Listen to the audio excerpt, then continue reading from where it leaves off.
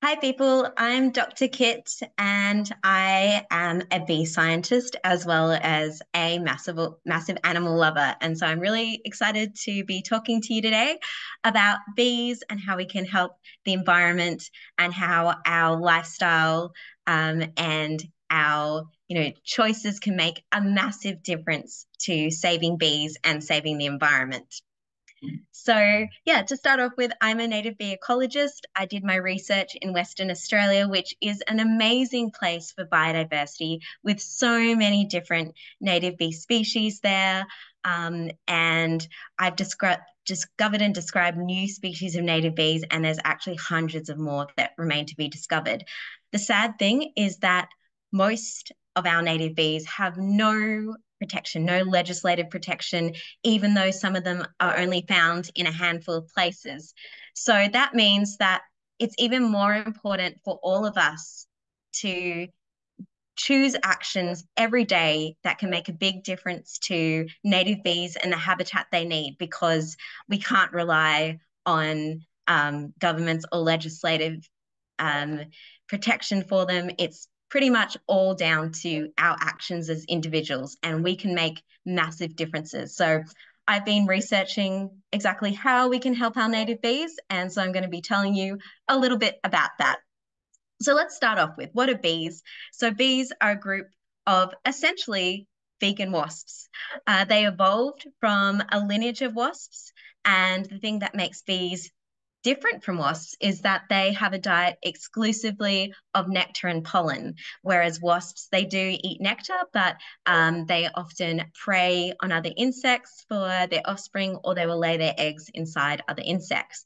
But bees essentially decided to go vegan, and I'm sure all of us think that's a great lifestyle choice. Um, so they're, they're very closely related to wasps.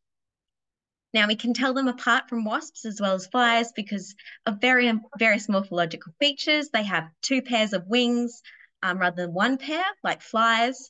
They have long antennae with a kink in it, whereas flies have short, straight antennae. Their antennae are sort of in the middle of their forehead, whereas on wasps, it's lower down on their forehead. And their eyes are big and oval shaped, whereas flies, they have big bulgy eyes and wasps have more kidney shaped eyes. And most bees, but not all, um, have pollen carrying hairs. So they're quite fuzzy, but there are some bees that um, swallow pollen, so they will lost those hairs. Um, whereas wasps and flies tend to be not very fuzzy, but we do have some exceptions as well. So yeah, they're a bit hard to distinguish sometimes, but those are some of the traits that you can use to determine if when you're looking at an insect, it is a fly or a wasp. They evolved well before humans evolved. They evolved during the time of the non-avian dinosaurs, and um, they evolved at a critical time in the evolution of life on Earth because they evolved not long after the first flowers evolved. Um, and you can see that the um, greenish um, color that represents the flowering plants, they diversified very rapidly after they first um, evolved from plants that didn't have flowers. So that's conifers um, and bryophytes and also things like lichens and moss. Um, and the reason why flowering plants evolved and diversified to become so successful is because of their coevolution with flower visiting insects, of which bees are one of the most important. So they're so important for plant reproduction because they act as pollinators, allowing plants to reproduce with cross pollination. So when a bee goes to a flower, it's seeking the nectar. Um, they have a mutual relationship. They get pollen on their bodies. They go to another flower. The pollen, which is essentially plant sperm, is rubbed off onto the female parts of another flower of the same species. And so plants, that's how they have sex, that's how they reproduce. Um, and bees get nutrition in this relationship. So it's a co-evolutionary relationship, so important. Each of them are working together and evolving together. Um, and you know the beautiful diversity of flowers that we see, the beautiful colors and scents, they didn't evolve for us. We are benefiting from that. They evolved for the bees. Um, and bees have amazing color vision. So that's why so many flowers um, are beautifully colored. So as I mentioned, this is a, a mutual relationship, a win-win relationship. So the bees get nutrition, nectar for energy, pollen for the proteins and vitamins and minerals and fats, and then the plants get to reproduce. Now, the bee that most people know about is Apis mellifera, the European honeybee, but this is an introduced species, so it's not actually um, you know, co-evolved with our Australian flora. It was introduced for honey um, and then crop pollination um, during the 1820s to 1840s. And so they occur in managed colonies by beekeepers and then they go feral, which is a problem for wildlife because the feral bees can take over hollows that our possums and our parrots need. Now, WA has one of the healthiest honeybee colonies. So, um, contrary, I guess, to some of the media, honeybees aren't declining, nor are they threatened. Um, and the problem is that as an introduced species that is very successful and very abundant, they can harm our native bees and our native wildlife. And that was part of my research, um, which I've published. And if you want to grab any of my publications, send me an email. I'm more than happy to share it with you. So, yeah, honeybees, they get a lot of attention, but they are a managed species. They're sort of like um, cows or chickens. They do, you know, they do need to be cared for, but they aren't part of the native ecosystems. And that if there's too many of them, they can outcompete our native bees and harm and disrupt the pollination networks. And yeah, it's a sad thing that the honeybees get all the attention and funding because they aren't the ones that are threatened and can harm our native bees. So, what can we do to make sure that there's a balance? Um, feral honeybees need to be humanely um, controlled. So if there's a feral colony, a beekeeper can go and take it and then keep it. Oh, sorry. Um, limit backyard beekeeping because we really need to focus on the native bees and make sure that there's enough floral resource for them, prevent swarming, and the biggest thing, absolute biggest thing, make sure that there's patches of native vegetation, planting more native flowers so that our native bees have enough food because they've, as I mentioned, they've co-evolved with our flowers in the Australian landscape. So that's what they need. They need our native flowers, and we need to make sure there's lots of that. We need to limit land clearing so that we have plenty of native flowers so that honeybees can't take all the resources so that there's not enough left for our native bees. So the thing with honeybees is they do make honey. Most of our native bees don't make honey. There are a few species, um, the Meliponini, also known as sugarbag bees, um, but they aren't in southwest Western Australia so you can't get honey from them. Um, and you know, a big thing that I always say is that we shouldn't protect bees for what they can do for us, or whether they can give us honey, or whether they can pollinate crops, because every single species is, you know, a unique product of evolution that is never going to evolve again if it becomes extinct. And so, you know, we are just one species in the ecosystem, and we need to learn how to live with all the other species so that we can sort of be in a balance and in harmony. So it's not about what the bees can do for us. We should protect bees because they have just as much of a right to be on this planet and inhabiting the ecosystems that they inhabited well before we came here well before honeybees came here as well. But yeah, the honeybee industry is very important and honeybees are important of pollinating many crops that um, you know we rely on for food. So they do have their place in more of an agricultural setting. So our native bees, though, the stars of the show, there is over 2,000 species in Australia, um, over 800 in Western Australia. Many of them are found nowhere else in the world. We have a unique bee species composition, and our bees look fantastic. There are so many different species, habitats, habits, lifestyles, flower preferences, nesting habitats, colors, shapes, and sizes. So it's just um, such a unique opportunity to go and find out more about them. And, you know, there is actually so much more that we need to discover about our native bees.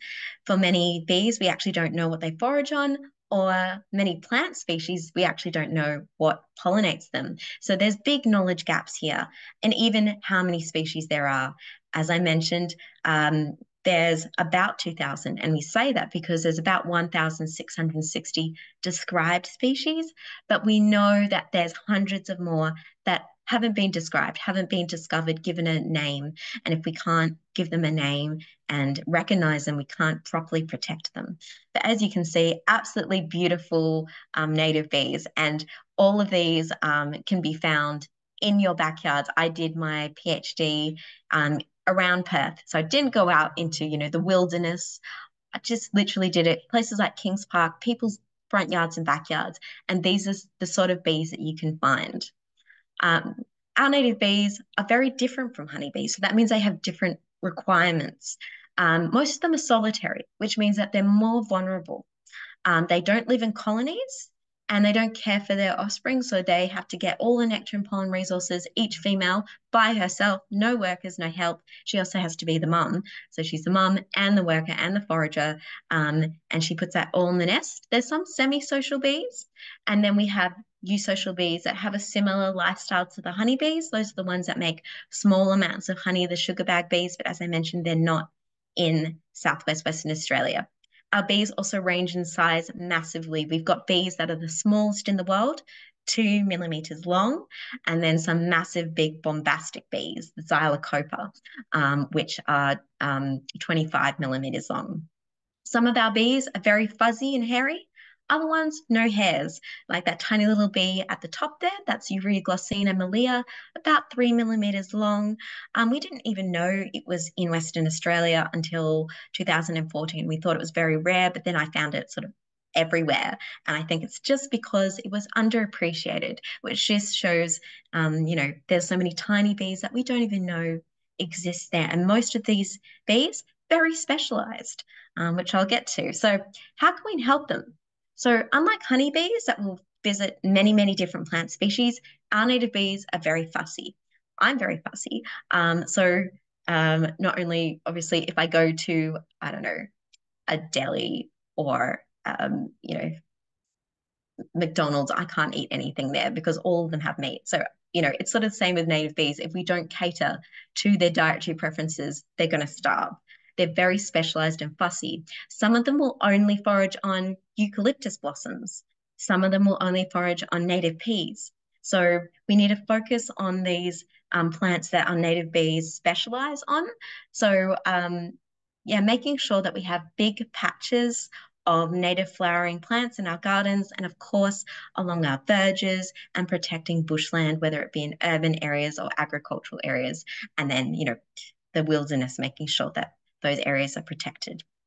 There are some um, exotic plants that our native bees like, and you know, fortunately, um, those are things that we like, like herbs. Like many of us love to put herbs on our food, and so they love those sort of herbs like thyme, um, rosemary, um, and uh, those sort of uh, flowers. But yeah, most of them do prefer native flowers.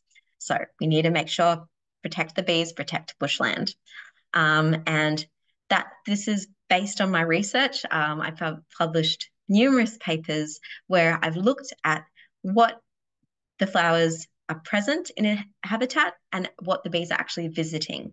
And most flowers in a habitat aren't visited by bees. They might be visited by honeybees, or they might be visited by birds or butterflies, but um, native bees quite specialized. And so, yeah, this has been really reinforced in my research as well as when I was comparing people's gardens and the bushland remnants, the bushland remnants were the most important. So, protect native vegetation.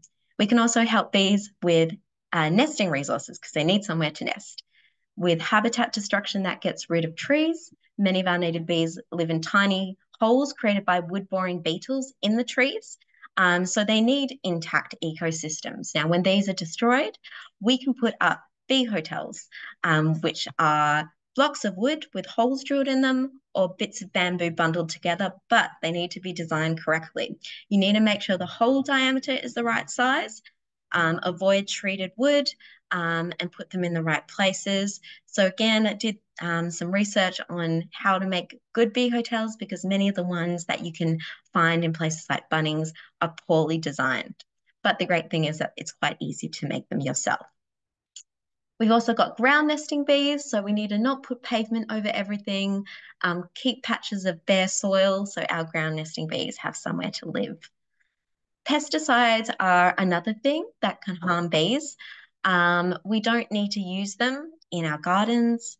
In some agricultural settings, unfortunately, they are um, needed um, because the problem is that sometimes if they're not used, it means a farmer is going to clear even more native vegetation to make way for their crop. So targeted pesticides that only target a specific pest, sometimes they can actually be beneficial if it means less habitat loss because habitat loss is the driving force um, threatening bees.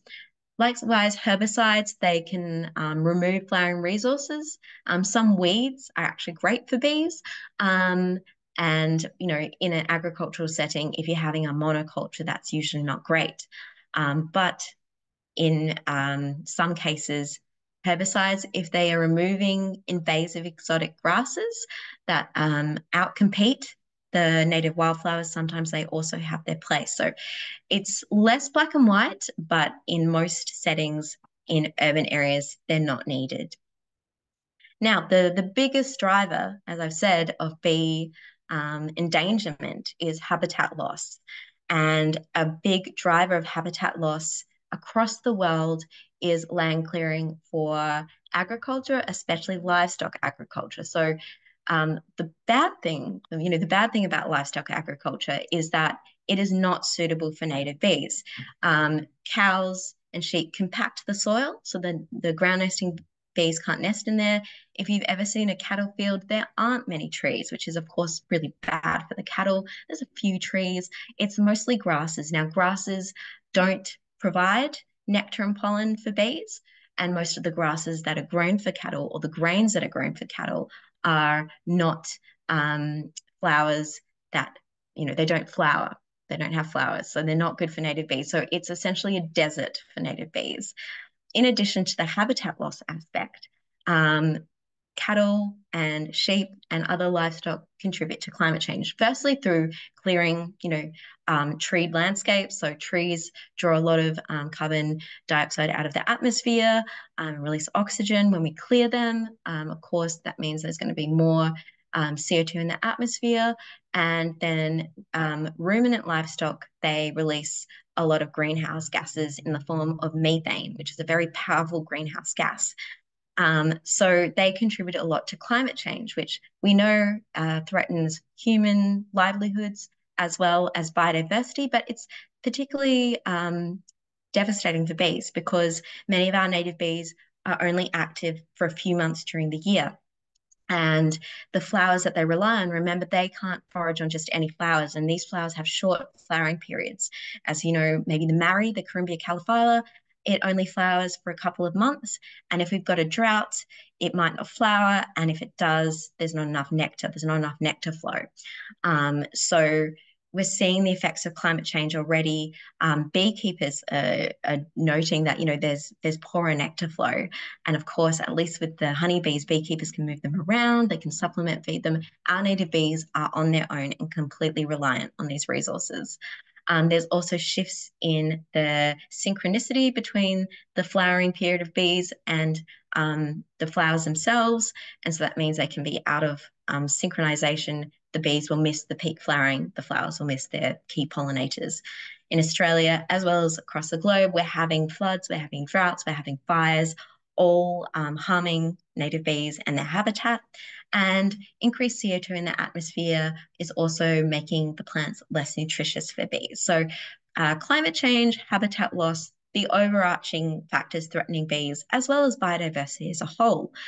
But the great thing is that all of us can make a massive difference through small choices every day, reducing our meat intake, meat intake. This is a paper um, that's published in Science. Now, Science is one of the leading um, scientific journals, and um, you can reduce um, your carbon footprint by over 50%. Um, and the um, from the paper, without meat and dairy consumption, global farmland use could be reduced by more than 75%. So that is a massive difference. So yes, these are big threats. They can seem a bit overwhelming, but all of us can make a massive difference, which is very, very uplifting, gives us a lot of hope, I think. Um, and yeah, I did, oops, I did publish um, a paper about this um, in terms of especially the biodiversity aspect called Defending Biodiversity Through Our Diets, which was published in Austral Ecology.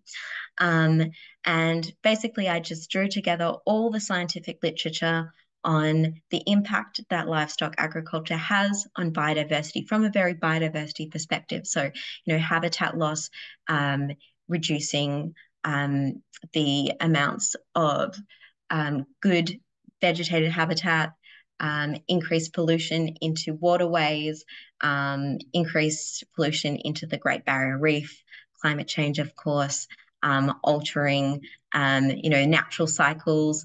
and, you know, when it comes to the oceans, reducing calcification of marine invertebrates. So have, you know, diet can make a massive difference to the world. And of course, you know, it's it means that there's less, I guess, pain and suffering in the world for animals as well as humans, because humans are, you know, suffering from the effect of climate change, especially in poorer countries.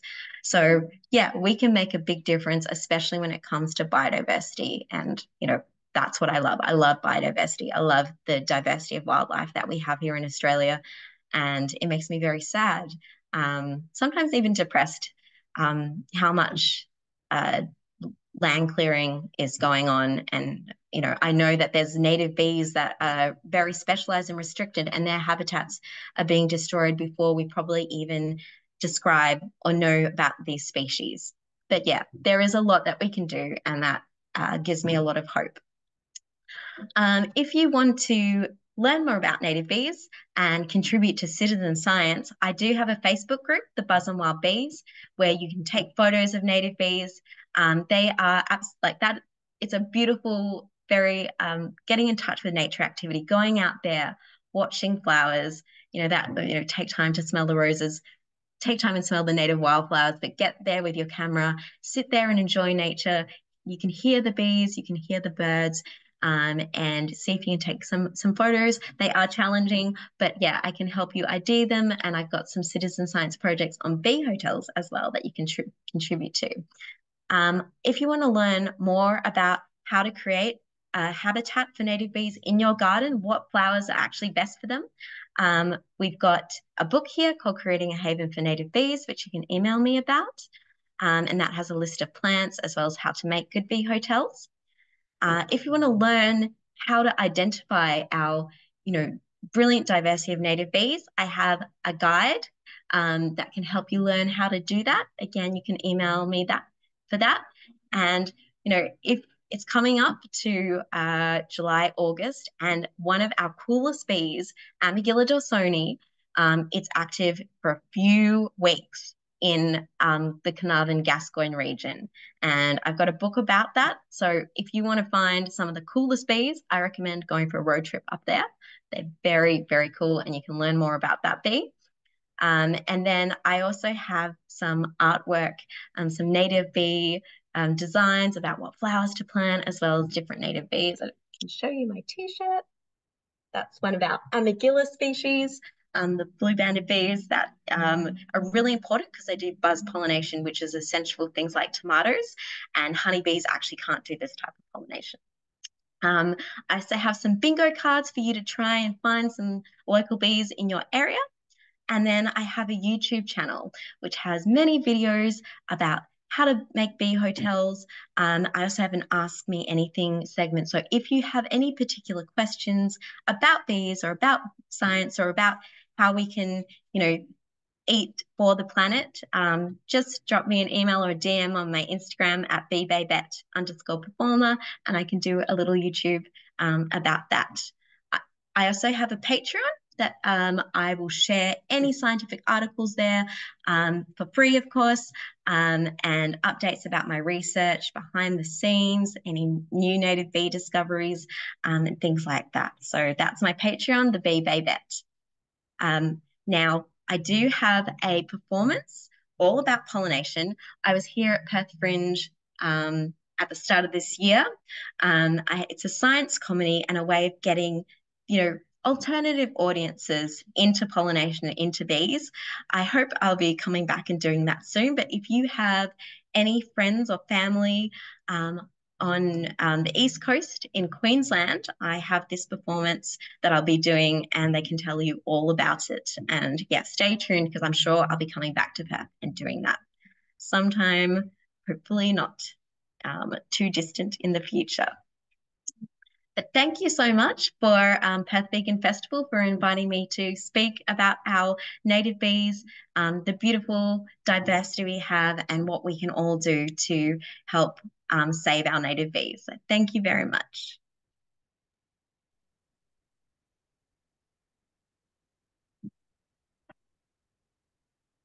Thank you so much, Dr. Kit. Does anyone have any questions for her?